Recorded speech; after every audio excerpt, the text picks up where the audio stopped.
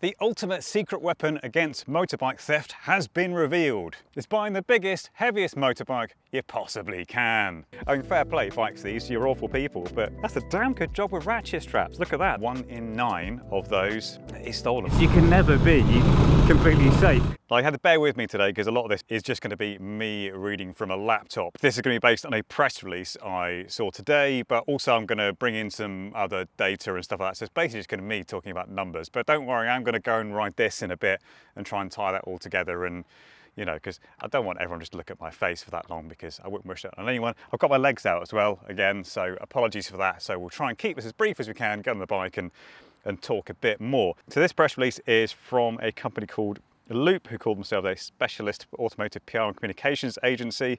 And the main, actually, their main focus on it is about basically all these sort of emerging Chinese brands uh, being at the biggest risk of theft. My main takeaway from it, though, is not that. It is that the proportionately least likely bike to be stolen in the UK is as you probably gathered actually from the beginning, was the Triumph Rocket 3. So Leap, what uh, this agency did is they did a Freedom of Information request with the DVLA, crunched all the numbers, and, and this is what they come up with. So yeah, proportionately the most stolen mod, uh, model in the UK is the Honda SH350.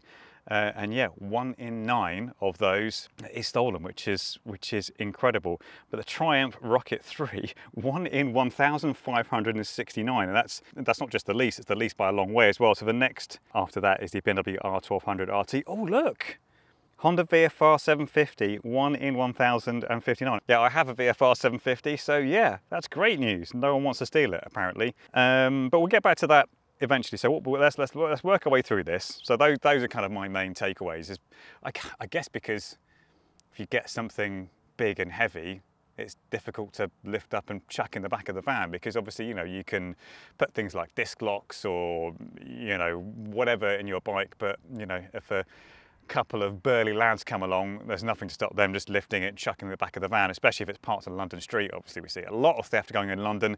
Uh, what I should say actually as well is, at the end of this, some of the other data we'll look at will show actually that theft isn't quite as bad in the UK as you might think. It's getting better, so that's good news, but we'll, we'll get back to that. So we'll, let's have a look through this. Yeah, Challenger brands entering the market from modes uh, from China elsewhere. Proportionally higher risk of being stolen last year. Yeah, we've been through that. But the most stolen bike in the UK is um, by pure numbers the Honda PCX and that's really by count of its pop popularity because yeah Honda sells thousands of those it's yeah, um, often is topping all the near, near the top of um, most bought motorcycles in the UK. So 1,866 thefts reported in 2024. So yeah, a lot of bikes being nicked, but yeah, there are 550,000 of them in the country. So yeah, that is to be expected.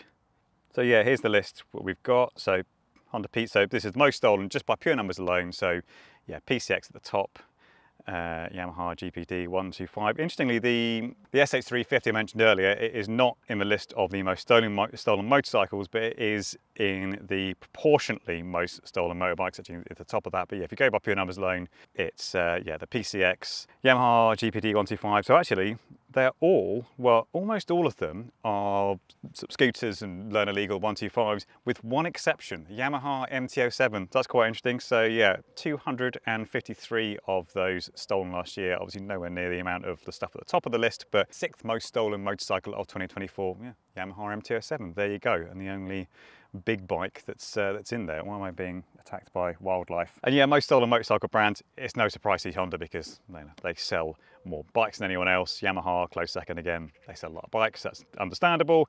So this is where it gets interesting because then if you look at the proportionately most stolen brands, um, it's a completely different list. You have Tianjin, no, I have no idea either. Uh, a few here I have heard of, so Sinnis, obviously I've heard of, Motorini, Sur-Ron, can't say I'm too surprised by, by that one. um, yeah, a lot of Chinese manufacturers and a completely different list, basically, to, yeah, a completely different list to um, the most stolen just by numbers overall. So look at that. Tianjin, 1 in 8 stolen in 2024, that's astonishing. 1 in 18 for Jiazhu, I don't know. Uh, Sur-Ron, 1 in 28. But then if you look at the, so this is now the proportionately least stolen brands. Um, yeah, we've got Suzuki, Royal Enfield, Kawasaki, Ducati. Good news because I've got one of those as well. Um, and the least of all is BSA, 1 in 3,217. Uh, yeah, and here we've got the proportionately most stolen models. Um, yeah, we won't, won't dwell on this too much, but yeah, PCX is in there as mentioned, and the yeah, was, yeah, So a lot of scooters basically. Again, because presumably because they're just easy to to stick in the back of a van. And now we get on to the proportionately least stolen motorcycles. So uh, as mentioned, Rocket 3 is is the best of all of those. But yeah, really, most of them, or a good chunk of them, are 1000cc or over, like Honda CB 1300. I'd quite like one of those actually. Maybe I'll go and buy one. GSX 1400, uh, CBR 1100. Ah, so that'd be the that'd be the Blackbird, I think, won't it? Yeah, CB 1100 XX Super Blackbird. Really catchy name. Uh, I want to buy one of those as well. It's basically all the stuff I want to buy, including Honda, v, Honda VTR 1000 actually, Triumph Thruxton, um, yeah, Triumph Rocket 3 and yeah, BMW, R, BMW R1200 RT, another, another big boy. So I've got a quote here from uh, Alex Kevford, who is the head of editorial at Loop. So he says, motorcycle thieves continue to target scooters and 125s far more than high performance sports bikes. Um, Honda PCX may be unlikely to find itself at the top of these charts, but then it is Britain's fourth most popular bikes. When we look at the figures in proportion, a very different picture emerges. Yeah, yeah, well, as we've said, uh, there's another quote here which was quite interesting. So talking about the Chinese and emerging brands, it's like owners of these bikes uh, might think these low their low prices make them less of a target in comparison to more exotic machinery. However, the evidence suggests they are more at risk uh, of becoming an unfortunate, unfortunate statistic. Their lightweight and twist and go convenience makes them popular with commuters, but also makes them easy to hustle away or lift into the back of a van. Oh yeah, large capacity bikes left relatively untroubled by the criminal fraternity. As to underline this point, the, the Triumph Rocket 3, featuring the world's largest production motorcycle cycle engine, uh, until Triumph usurped it with the Triumph Rocket 3. Oh yeah, so this, this is uh, something I should mention. Um, the least stolen is, it's, this is the old Rocket 3 with Roman numerals, not the new Rocket which is through the number. Just to, just to clarify, yeah, finds itself hold of another record, this time as the least propor proportion, the propor proportionately least stolen bike in the UK. Apparently I can't read. Saying about classics as well are, are not stolen much at all, uh, having looked at BSA being the uh, least stolen brand of any of them. Uh, go big or go old seems to be the advice if you want a bike that stands a good chance of still being where you left it where you return. That said, there are plenty of bikes that weren't stolen at all last year and therefore don't make it into these figures. That is a good point, uh, despite being incredibly popular. Top of that list is the Kawasaki ZX750, of which there are nearly 5,000 in the UK, yet none were reported stolen uh, last year. XL650 Transalp as well, most theft-resistant bike, bike of 2024, um, Harley Davidson has more zero theft models than anyone else. I'm sure it's nothing to do with the fact that no one wants them. Uh, so obviously, you know, that's a lot of bikes being stolen. That sounds pretty depressing. You know, anecdotally, as a, as a bike owner, I hear about fellow bike owners having their stuff getting nicked in it, and it's quite depressing, frankly.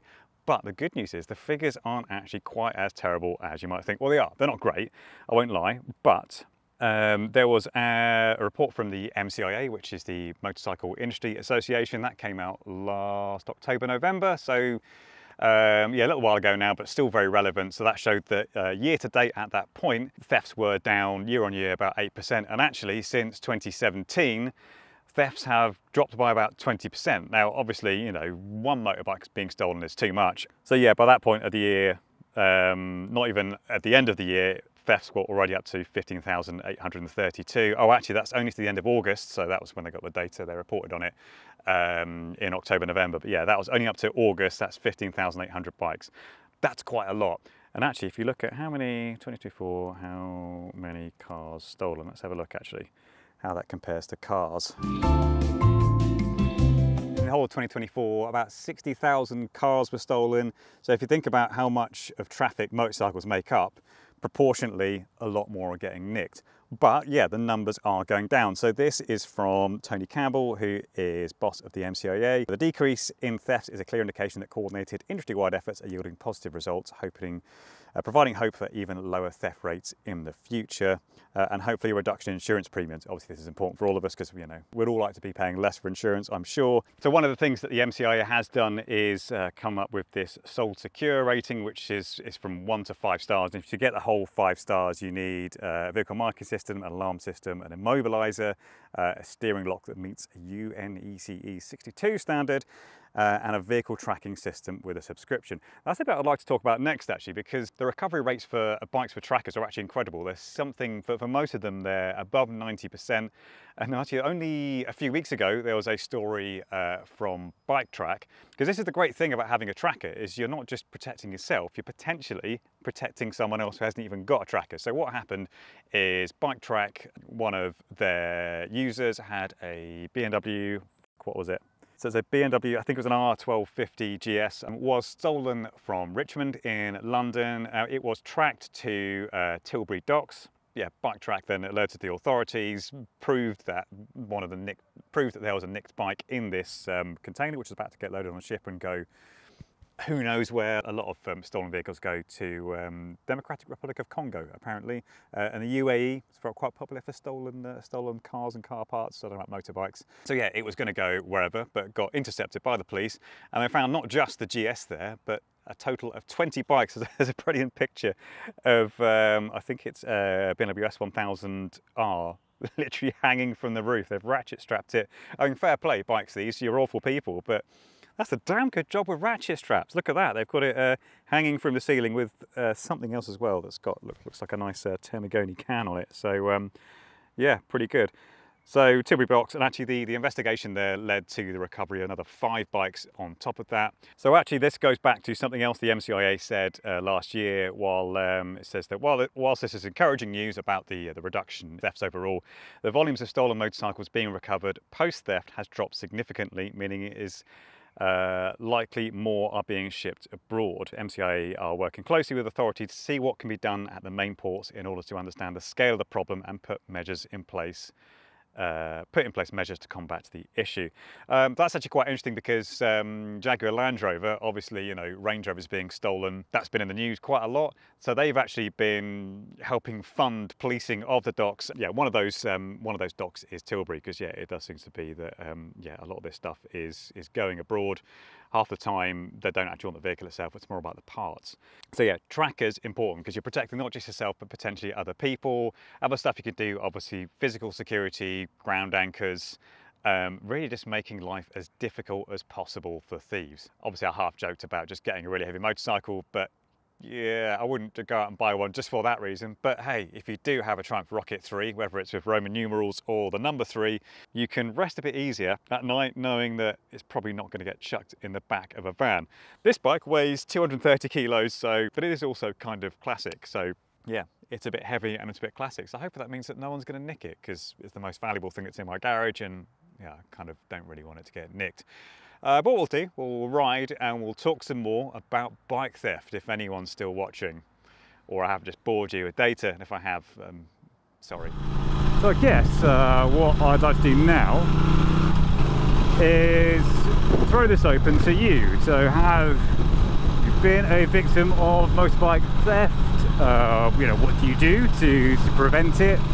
Because that's the thing, it is great news that thefts have been coming down, but they are still very high. You are still highly likely, the statistics tell us, to fall victim to it. So yeah, great that manufacturers and the MCI and blah blah are doing what they can to get things down. But yeah, in the meantime, keep yourself protected because, especially if you're out and about, you know, rode motorbikes at the train station, for example, or you know, outside the office, particularly if it's in London, you just want to make sure that yours is ideally the best protected bike there. You're never going to be able to do enough to stop these entirely. I think the problem with the advent of these battery operated angle grinders is you can never be completely safe. If a thief is determined enough, you know, they'll they'll be able to have it. You just got to make sure that your bike is the most protected wherever it is, um, you know, on your street, in the you know, car park, whatever, or the very least, make sure it's at least not the worst protected because, you know, that's going to be the one then that unfortunately will go.